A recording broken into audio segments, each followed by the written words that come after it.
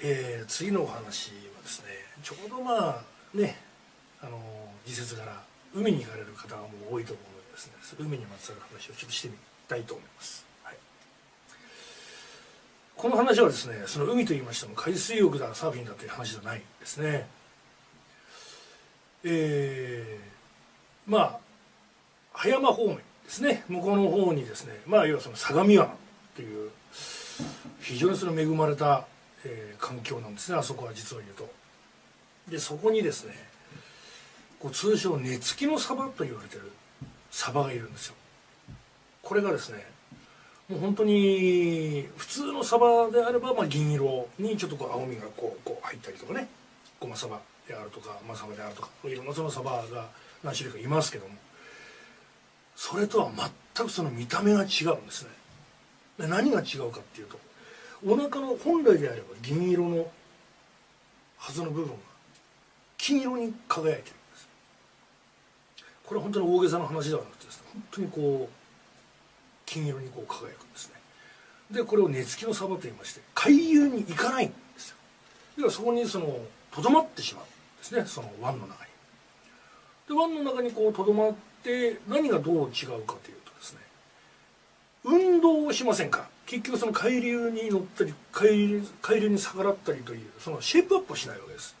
だから我々その食べる側の捕食者からするとですね非常にその脂の乗ったしかもそのサバ独特のその脂っこさではなくてですね本当にこうもうまるでマグロのトンにもこう匹敵するかのような素晴らしい味わいになるんです。根付きのサバって言います。これをですね取りに一時こう割と言ってたことがあるんですね。でこれがですねじゃあどうやって取るのかっていうともちろんその網を打つわけにいかないので我々はね。一本釣りで釣るんですよ。で本当にそのあの辺ですからそのまあタイであるとかそのいい魚がいっぱい釣れるんですよね。でもタイが20本のうち1本かかるかかかんないかいやそんなもんじゃないかな。3040のうち1本が下手するともっと少ないかもしれないですね。本当に当たればラッキーっていう感じですよ。それでね僕らがよくその常宿にしていたある民宿がありましてその民宿というのが僕はその割と子供の頃からですねそのお世話になってたところなんですね。いまだにその大将があの元気にやられてますけども。でそこのその民宿に行ってどういうその駆け引きをするかというとですねその根付きのサバを釣りに行った時には他のものがたくさん釣れます。これ僕らからすると雑魚です。タイであろうが何だろうこれ雑魚なんですよ。雑魚扱いなんです。もうそのサバをとにかくメインでサバ狙いで行ってるのでサバ以外はもういらない。だからそのタイであるとかなんかを全部その民宿にタダであげちゃうんです。その代わりその宿泊代であるとかなんかをこうちょっと休みに抑えてくれるわけですね。こういう駆け引きがあるわけですよ。これは面白くてですね。でよく行ったんです。これある夏でしたね。僕らはその、まあ、船持ってる仲間がいましてね。でそれぞれの船でいつもその釣りをするんだけど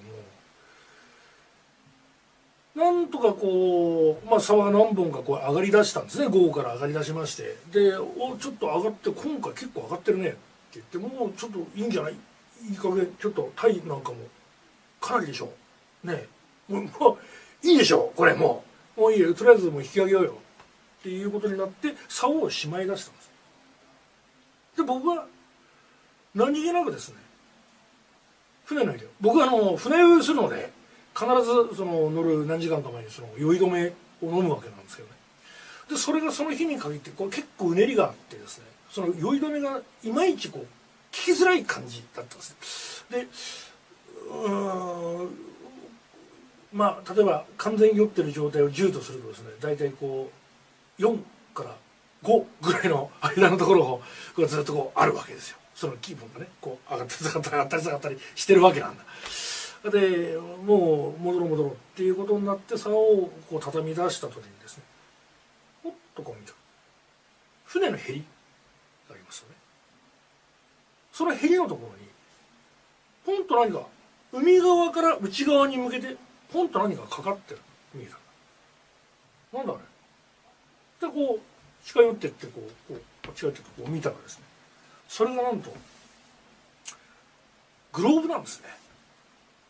グローブ。そのグローブっていうのは何をかっていうとこれ僕らはもうあのまあ今年去年でやってないですけどこれ実はジェットジェットスキーをやるわけなんですけどそのジェットをこうカルトリにはめるものなんですね。それがこうポンとかかってる。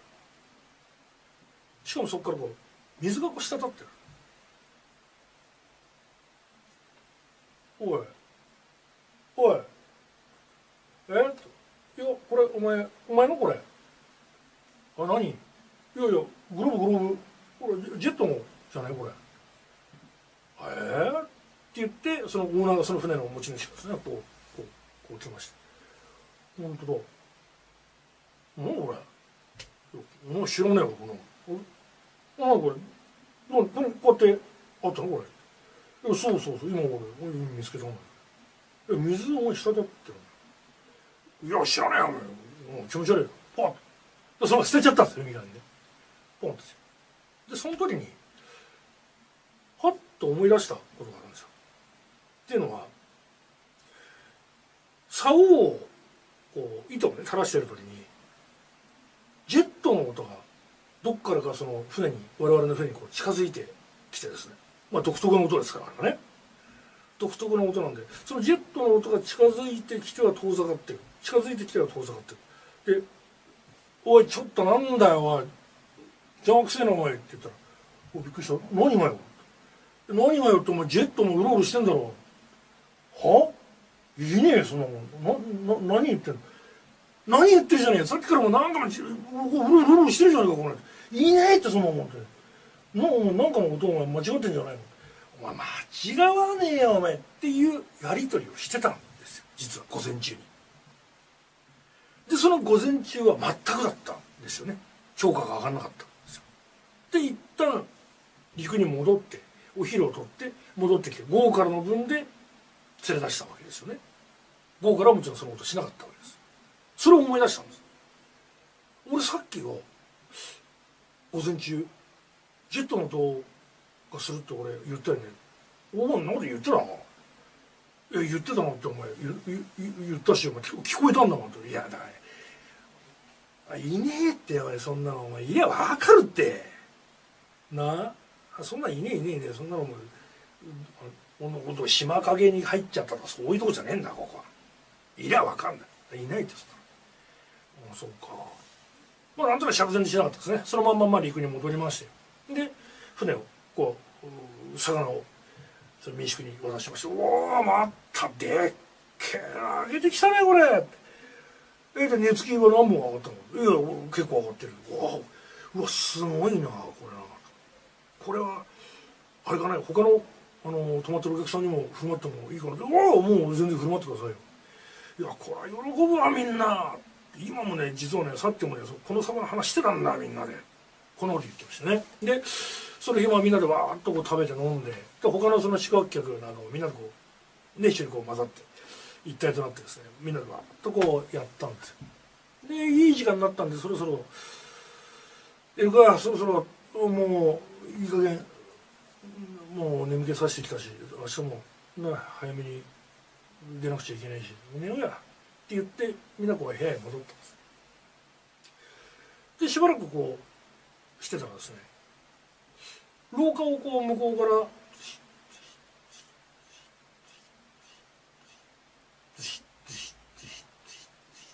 歩いてここっちに近づいてくる遠ざかってくる近づいてくる遠ざかってくる。これ男の足音だって分かるんですね。何回もその廊下を行ったり来たり行ったり来たりでその向こう側のガラス戸をガラガラガラ開けたり閉めたりしてるわけ。なんだろうと思ったんですね。でなんかそれがこう気になってこう眠れなくなってしまったわけですよ。ななんだろう？と思ってたらまたズシズシズシズシズシズシズシズシとこう足音が足音が近づいてきて我々のその泊まってる部屋のその襖があります。目見薄いもんです。襖のその向こう側でもってその音がズシッと止まった。え？と思ったんです。そしたら「中村ちゃん中村ちゃん起きてる？中村ちゃん」っていうそのご主人の声えあ起きてますよ。えどうしたの？あ起きてるか。ちょっと開けていい？おおいいでしょ。スーッとね。悪いね。悪い悪い。ごめんね。あのさあの部屋大丈夫かね？なんか買ったことない？え？いやいやななな何言ってんの？どうしたの？あのね家のこのさ周りをさなんかさうろうろうろうろ歩いてんだよ。え？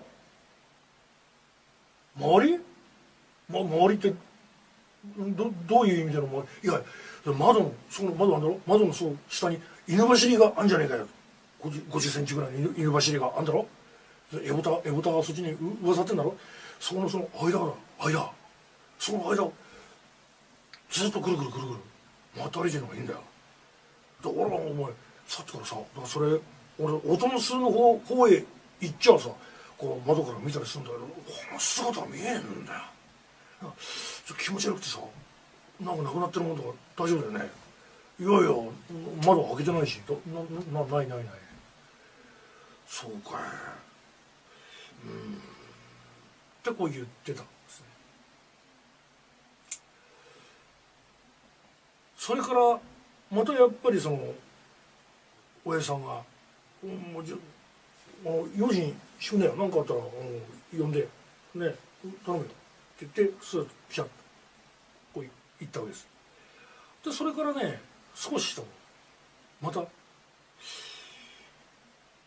俺ちゃんまだ起きてるかい起きてるかいおい起きてますよ。スーッとこう開けてる。